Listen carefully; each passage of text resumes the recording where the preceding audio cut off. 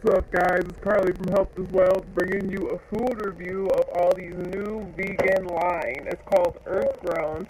There are some vegetarian items, so I'll talk about that later. Originally, I had asked Trilla from Trilla to do this video, but right now he's not doing food reviews.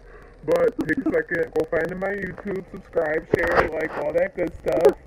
And I hope you guys are excited as I am, because I love food. Yeah. Alright guys, alright that was really weird. I do have a confession to make everyone because three products didn't make it to this review because you know what, I needed dinner so it's the Chipotle black bean burger, the chickenless nuggets, and also the hot dog that they have. All of them were delicious. Uh, the Chipotle bean burger, it was, it was soft. It was softer than like what you would imagine a, a regular burger should be, but it, it was it was tasty. It was definitely flavorful. Chickenless nuggets, if you ever like chicken nuggets, they seriously taste like chicken nuggets. Like, I could live off of them if I had to. They're delicious. Like, closest thing I've ever had vegan-wise to chicken nuggets. So I definitely, definitely recommend the chickenless nuggets. I think they're only like $2.99 or $3.99. If you have kids that you're trying to transition, it's perfect. I do want to make a disclaimer though because the the channel is Health is Wealth and these are all processed foods.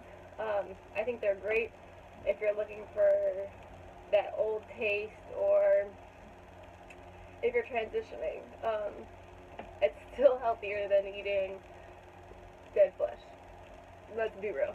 So, I just wanted to take time to make this video because I just love to eat and Jilla didn't, wasn't doing food reviews, so I decided to take it up. Because why pass up a time to eat? Alright, anyways. So, there are a couple of vegetarian items that they have. Obviously, I didn't get the vegetarian items. But an easy way to tell is right under Earth Grown in this corner. I don't know if there's a way to. There we go. It says vegan. I don't know if that's going to be backwards just because the way the camera is. Even there on the side, there's the orange strip that on all of it that'll tell you, like, you don't have to read the ingredients or anything. Okay, you know what? I shouldn't have said you don't have to read the ingredients because I'm going to do another video on a product that was literally labeled vegan that was not vegan. So, you do have to read. You usually do have to double check if it's not certified vegan. He's about to rip this down. Don't touch that. Amari. No. Let me just take this there.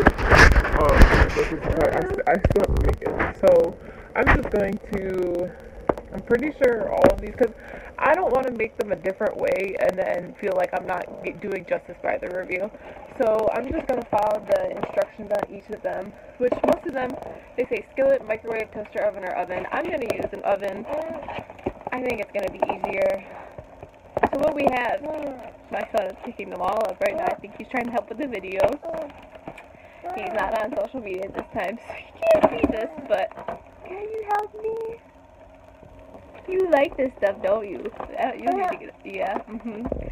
So we have a Cal veggie burger, a Thai veggie burger, Asian veggie burger, quinoa crunch veggie burger, regular veggie burger, and then we also have a soy protein burger, which is soy-based veggie burger with grilled flavor.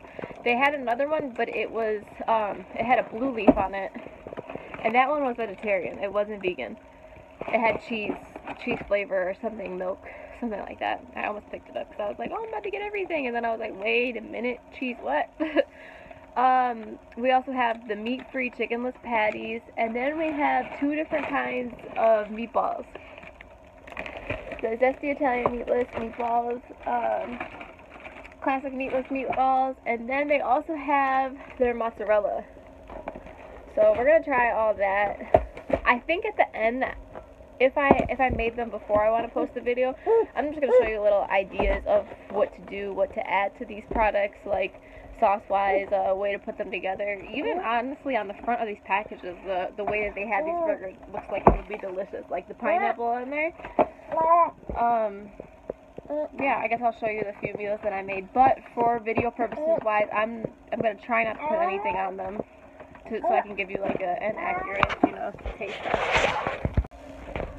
Alright guys, I have our last three burgers and then we have the two different flavors of meatballs. Uh, what I decided to do with the burger that actually looks like a, it's supposed to be like a beef burger I guess,